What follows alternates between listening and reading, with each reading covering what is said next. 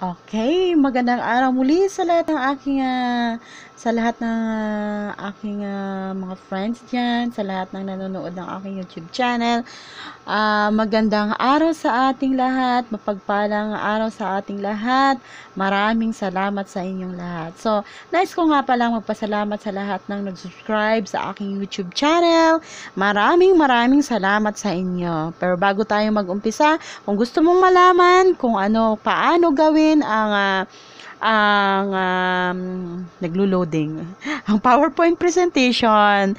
Huwag kalimutang mag-subscribe, hit the bell notification below, katabi lang ng subscribe, na may patatlo kang pagpipili pipilian dyan, i-all mo na para updated ka sa lahat ng mga videos na aking ina-upload. So, simulan natin. Ang aking ituturo ngayon ay kung paano gumawa ng uh, PowerPoint presentation. So, bilang estudyante, kailangan natin ito kapag nag uh, nag uh, nagpre-present tayo ng ating topic. Uh, bilang teacher, kailangan din natin itong gawin para para mag-present din ang ating ituturo sa ating mga estudyante. So, ang ituturo ko ngayon kung paano gumawa ng PowerPoint presentation. So, punta ka muna doon sa all programs mo. Pindutin mo muna ito dito sa gilid. Nakikita. Ayun, nakikita. Dito sa pinakadulo. Ayun, yung pa, yan, yan, ito. Ito, nakikita mo na, kaibigan. Kaibigang tunay ang turing ko sa'yo. Ayan, dyan mga, pindutin mo lang yan, may lalabas na yan dyan. Ah. Ang pipiliin mo ay yung Microsoft Office. Ah, ang gamit ko pa kasi, 2007, ganun nakaluma, pero mababago yan. Magiging makabagong teknolohiya. so, kasi dito kasi sa 2007, wala kasing MP3, ay MP4. Sa 2010, Ah, uh, mayroon. Pinagtsatsagaan ko lang muna ito, promise. Pinagtsatsagaan ko lang to. Bakit? Kasi kasi ang laptop ko nasira. Wala akong pambili ngayon. Bikini Man, meron diyan. Salamat. Okay, ayan.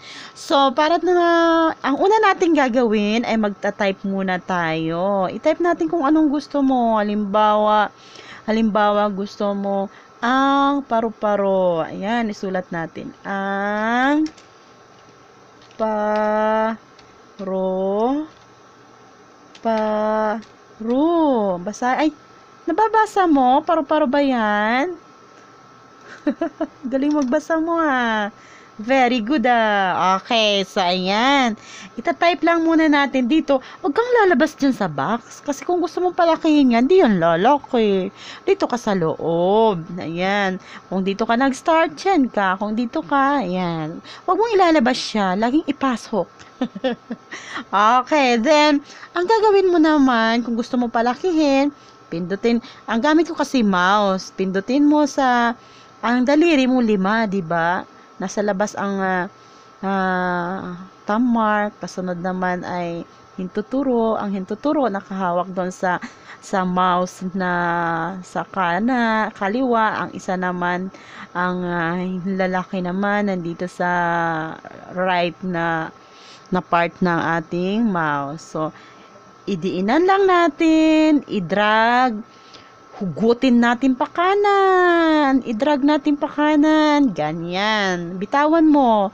Kung nabitawan, bumalik pa rin, hindi naging ganyan, wala hindi nag, uh, nag-highlight. Highlight ang tawag dyan. Highlight, hindi siya na, hindi siya na, na nalagyan ng kulay. So, ang gagawin mo, balik ka lang doon sa una. Huwag kang mataranta. Dahan-dahan, hilain ang mouse, pa kanan, tapos bitawan mo. Ayun. So, gusto mong palakihin. Pwede ka mamili dito, anong size, ayan, pababa, pababa.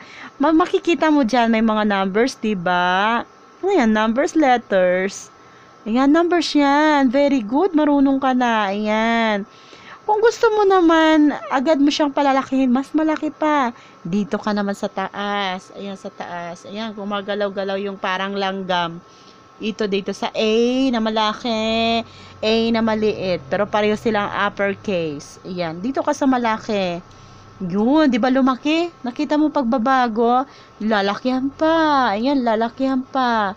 Kung gusto mo naman paliitin, liliit yan. Halimbawa, gusto mong ah, lagyan ng kulay. Huwag kalimutang i-highlight kung na babaguhin mo. Ayan, highlight. Baguhin natin ang kulay nitong ano.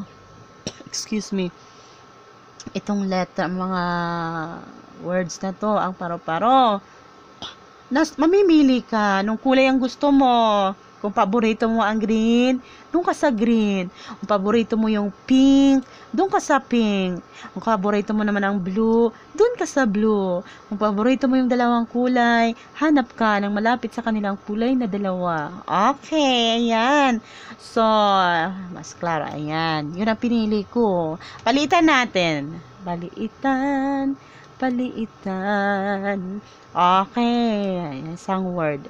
Kung gusto mo palakihin naman, i-drag mo lang doon sa taas. Ah, palalakihin mo yung words mo, ang paro-paro. Palalakihin mo. Huwag kang mag-click na na dito. Pwede mo isang page na lang kasi pagdating sa ano, makikita mo pa rin yan. Okay, huwag kang mataranta kasi hindi yan makikita ng pagdating sa slideshow presentation. So next, what, uh, what you're going to do is, uh, gusto palakihin mo pa, palalakihin mo pa yan. Kung gusto mo, nasa sayo lang yan, palalakihin. Halimbawa naman, gusto mo siyang lagyan ng ano, gusto mo siyang lagyan ng picture. Punta ka ngayon sa insert. Sa taas, nung sa malapit sa home, andun si insert katabi lang niya. Okay, pindutin mo yan. May lalabas yan. May pipilian ka. Gusto mo mag-insert ng table. Excuse me, ng picture, ng clip art, ng photo, ng shapes, ng smart art, chart, hyperlink, action, ayan. So, dito ka pupunta ngayon. Gusto mo picture. Yan ka. Punta ka lang. I-discover mo lang yung ano mo. Ayun, pindutin mo ang gusto mong picture, baba ka, baba ka sa may ano dito, to, sa may insert, malapit sa tools, naka, nakakulay blue, insert mo yan. Gano, wala. Saan Ayun. Nakita mo, wala na yung isa. Wala na isang sinulat mo. Punta ka ngayon sa format. Ayan, punta ka home, insert, design, animation, slideshow, review, view format. Ayan. Makikita mo dito. Dito nakikita mo dito sa tatlong to. Malapit dyan. Tapos meron pang isa. Ilalagay mo siya send to back. Ilalagay mo sa likod. Likod lang. Send to back. Dalhin mo daw sa likod. Okay. Lagay natin sa likod. Dalhin natin sa likod. Pindutin mo ang picture send to back. Ayun, lumabas na sa likod na siya. Ito na, nakita mo na ang salitang ang paro-paro. Baguhin natin para mas klaro. Lagyan natin ng red. Baguhin. Highlight mo ulit kung gusto mong baguhin. Ayun, oh. And then, ah, baguhin mo ang kulay. Kung gusto mong baguhin, bago-bago lang. Ganun talagang tao, nagbabago. Okay, yon Ang paru-paro. Ayan na, ayan na. Kung gusto mo naman siyang paggalawin, nice mo siyang paggalawin. Gusto mo siyang gumalaw? Okay, papagalawin natin yan. Itong ang paru-paro. Pagagalawin natin, ha? Pagagalawin. Punta naman tayo doon sa animations. Ayan, animations. Makikita mo, may pagpipilian ka. Ito ba? Ito? Ito? Ah, marami kang pagpipilian. Gusto mo naman makita lahat, pindutin mo lang ito sa dito sa gilid. Yan, pindutin mo lang dyan. Click. Ayun, lumabas. Oh, mamimili ka lang. Anong gusto mo? Design. Uh, nasa sayo lang din yon. Okay, next. Okay, halimbawa naman. Halimbawa, gusto mo siyang ano, lagyan ng sound, transition sound. Punta ka ngayon sa transition sound. Okay, lagyan natin ng sound. Yun. Lagyan natin. Yan, applause. Makikita, Yun.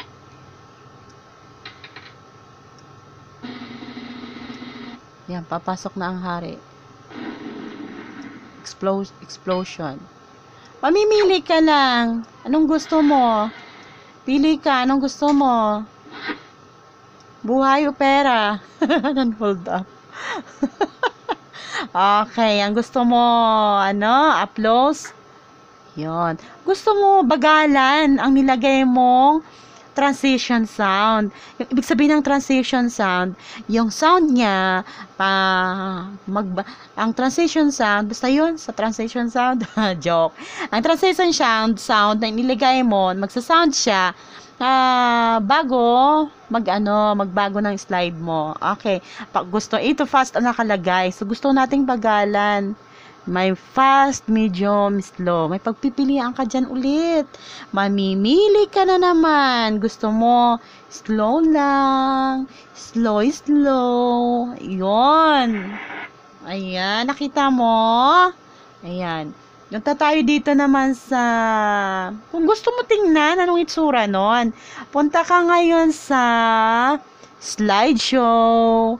Ayan, mamimili ka home, insert, design, animation, slideshow, review, view format. So, ang i-click-click mo, pupunta ka sa slideshow. Nakikita mo na ang slideshow. Ayun. Punta ka sa from the beginning. Yun o.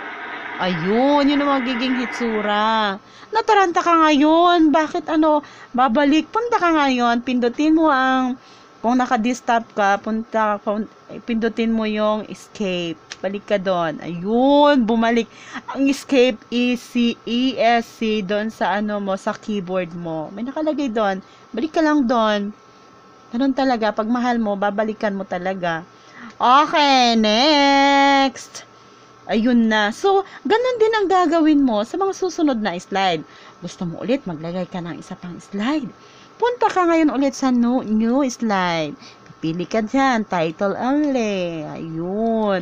May sulat mo dyan ang pangalan mo. Ikaw si Maria, Maria, Maria, Maria, Maria Carrie. Diba? Gusto mo, sulat mo ang pangalan ng boyfriend mo. Yun, Giovanni, ang boyfriend mo. Yun. Susulat mo. Basta kung ano ang topic mo, susulat mo lang. Sulat mo lang siya. Okay, yun. Ganun ang ginawa mo kanina. Ganun pa rin ngayon. Magpipili ka lang dyan. Iano mo lang yung yung laptop ay yung ano mo, yung PowerPoint mo dyan. Explore mo lang, matututo ka rin yan. Super dali lang yan. Kayang-kaya mo yan. Walang mahirap sa'yo. Walang mahirap, talagang walang mahirap. Kayang-kaya mo go ka lang ng go. Ayan, so, di ko na papahabain pa. Sana may natutunan kayo sa aking itinuro ngayon. So, God bless. God bless. Huwag kalimutang mag-subscribe sa aking YouTube channel. So, pindutin mo na yan. Ang, uh, kung di ka pa nakakapindot ng uh, nakikita mo dyan na salitang word na kulay pula na, na subscribe, pindutin mo muna. Tapos, pag napindot mo na, i-all mo na. Pindutin mo na yung parang kampana dyan, yung bell. Yun, pindutin pindutin mo para updated ka lahat ng mga videos na aking i-upload. So, or in-upload. So, thank you, thank you for watching. God bless. God bless.